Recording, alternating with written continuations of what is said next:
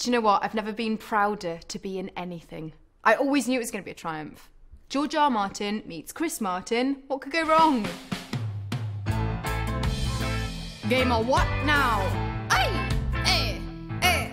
I'm a Rastafarian, Targaryen. I got some dragons and they're very scary. And been here and there and then I've been everywhere again. Rastafarian, Targaryen. Call me Daenerys Targaryen when you wanna reach me. And if you feel the love, then you can call me Khaleesi. Got so many names. I'm Queen of the Andals, Queen of the Marine. Yeah, you can kiss me sandals.